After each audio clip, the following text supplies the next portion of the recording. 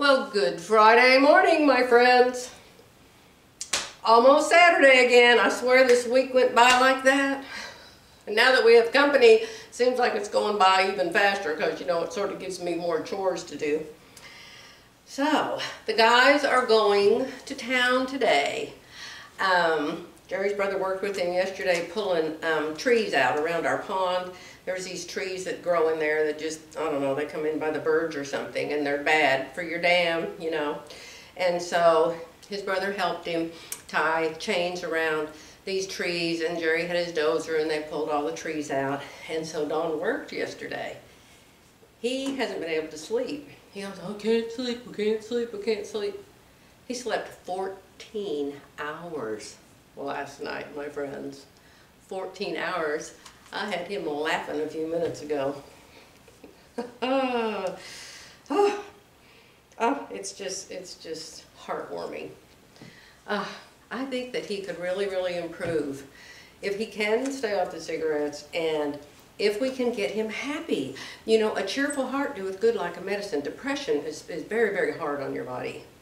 So, we'll try to get him cheerful so he can feel a lot better for a lot longer. All right, I don't have my contact in today, so I'm going to have to put my glasses on. Like I said, we have another guest this morning, so I'm like cooking bacon and eggs and toast and jam, and I'm out of my normal routine. Okay, March 19, Matthew 9, 4 is the scripture today. Why do you entertain evil thoughts in your heart? Wow, that's pretty easy to understand. Why do you entertain evil thoughts in your heart? Be careful what you think. Oh, so, so important. What does it mean to entertain evil thoughts? It means allowing your mind and heart to focus on things that are not honorable to God. It means you choose to think about things that pull you away from God things that are immoral, things that destroy other people, things that are unkind. Sinful thoughts lead to sinful actions. There's a big duh. Sinful thoughts lead to sinful actions. The Bible tells us to guard our hearts because Satan gets into our lives through hearts that are not guarded. Mm. I'm oh. Let's finish. you know, these, these daily devotionals, they just set my mind to going and my mouth to talking. The Bible tells us to guard our hearts because Satan gets into our lives through hearts that are not guarded.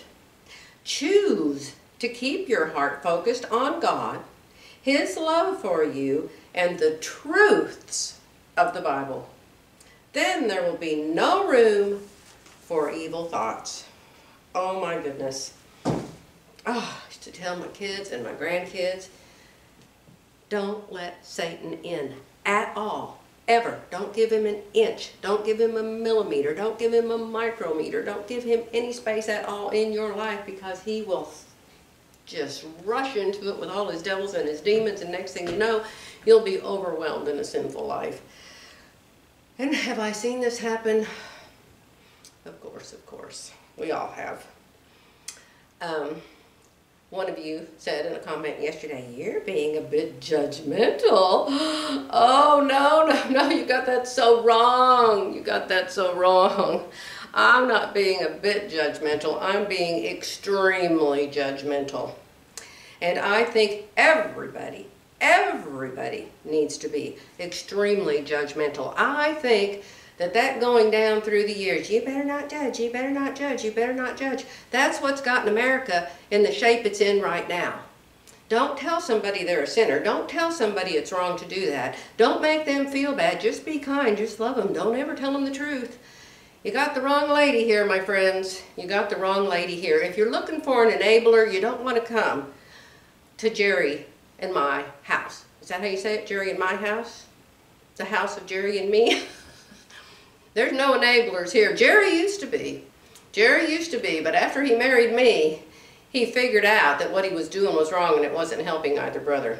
The mother was an extreme enabler. Extreme. I'm not going to let my son die under some railroad track.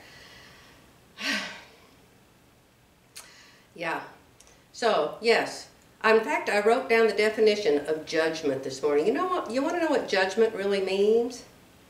It means being able to look at a situation and decipher how to come out with the best solution for it.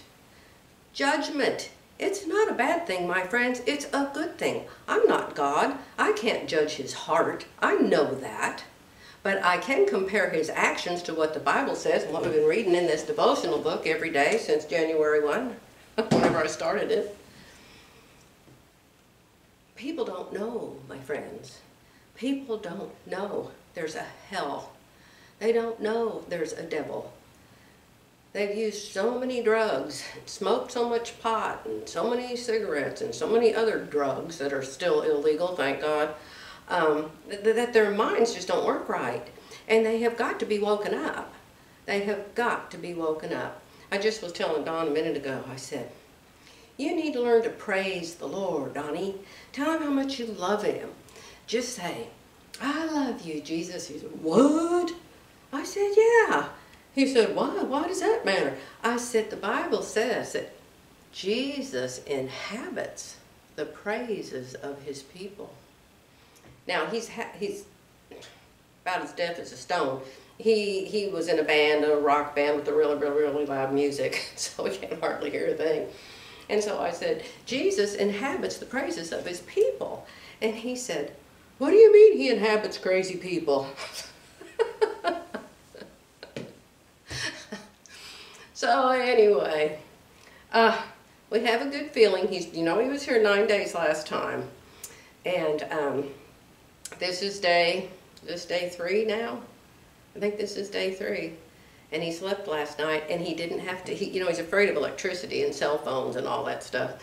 Uh, so he slept last night and didn't turn off, didn't turn off the electric bed, didn't unplug the lamps, didn't um, put his, well, his cell phone doesn't even work, so I don't know why he has one, but anyway, he's just, he's afraid of all things electrical. And um, he slept 14 hours, and Jerry said this morning, he said, did you unplug the bed, Don? No. Did you unplug the lamps? No. And you slept 14 hours, huh? Ah, yes. Okay, my dear ones, I love you all so much. I'm praying for you, for the dear lady that said she's having a hard time trusting God after so many years, with her son being an addict. We have one too. We have one too. Um, you know, the one that's here, and then there's one in my family. And um, we're never going to quit trusting God. That's our only hope. Don't quit praying. Don't quit trusting. Don't let the devil stop you from trusting and believing and counting on God. It's our only hope. Oh, before I say goodbye, I just came back because I thought of something else. For the lady that's, that's so heartbroken over her son. Go to my store, my Amazon store, or just go to Amazon and buy Mike Lindell's book. Mike Lindell, the Pillow Man, the My Pillow Man. Mike Lindell. Read his book. It will encourage you so, so much. Okay? End of this little insert. All right, my dearest, I'm going to let you go for today. I will be back tomorrow.